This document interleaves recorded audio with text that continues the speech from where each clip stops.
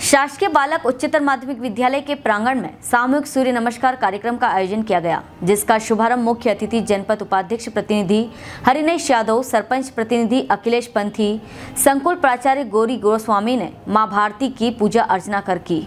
जिसमें शासकीय बालक उच्चतर माध्यमिक विद्यालय, शासकीय कन्या उच्चतर माध्यमिक विद्यालय, शासकीय एवं अशासकीय समस्त माध्यमिक विद्यालय की सहभागिता के साथ सामूहिक सूर्य नमस्कार किया गया। नगर में प्रथम बार बेहतर प्रदर्शन को लेकर पुरस्कार वितरण की घोषणा की गई, जिनका वितरण 26 जनवरी को गणतंत्र दिवस महोत्सव में किया जाएगा, जिसमें प्रथम स्थान पर शासकीय बालक उच्चतर माध्यमिक विद्यालय, द्वितीय स्थान पर सरस्वती शिशु मंदिर एवं तृतीय स्थान पर शासकीय कन्या उच्चतर माध्यमिक विद्यालय ने अर्जित किया।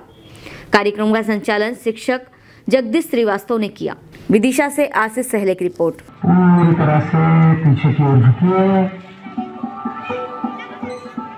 धीरे धीरे श्वास छोड़ते हुए पादस्तासन की स्थिति में धीरे धीरे आगे झुकिए। हथेलियों को अपने पैरों के पंजों के अगल बगल में ज़मीन पर टिकाए। सिर को घुटने पर लगाने का प्रयत्न करें, जितना पास ले जा सकते हैं।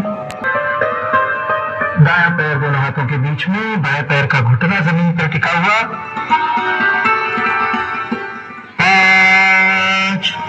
दाहिने पैर को भी पीछे ले जाए, पर्वतासन की स्थिति। कमर पूरी तरह से ऊपर उठी हुई एड़ियों को ज़मीन पर लगाने का प्रयत्न। नाभि की ओर दृष्टि। सुनिए। सभी छात्र, छात्राएँ और शिक्षकगण, आज जो प्रतियोगिता प्राचार्य मैडम के द्वारा कराई गई थी, उसमें प्रथम पुरस्कार जाता है उच्चतर माध्यमिक विद्यालय पठारी की ओर। द्वितीय पुरस्कार जाता है सरस्वती शिशु मंदिर पठारी। और तृतीय पुरस्कार शासकीय कन्या उच्चतर माध्यमिक विद्यालय पठारी की ओर। इस तरह से सभी जो ऑब्जर्वर और सिलेक्टर्स नियुक्त हुए थे, उन्होंने अपने अपने अंक दिए। करके फाइनल रिज़ल्ट जो आया है, वो आपके सामने है, इन विद्यालयों को।